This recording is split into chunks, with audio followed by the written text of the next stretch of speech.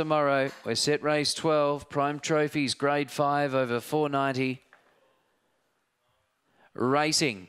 Away swiftly, Zoo Odyssey punching up Freeway Sparkle though and now going through Jake's brother, Burst of Blue wider out. Cosmic Luck fifth on the fence looking for an inside run and then she's ridiculous too. Cosmic and last is Pale Face Apache. They're shuffling up. Here's Cosmic Luck going after Freeway Sparkle. Wider Burst of Blue, deeper still Zoo Odyssey into the straight. Cosmic Luck has sailed away. She's ridiculous through for second, but Cosmic Luck beat She's Ridiculous to Cosmic Burst of Blue. And then came Zoo Odyssey, Paleface Apache, Freeway Sparkle has finished well back with Jake's brother.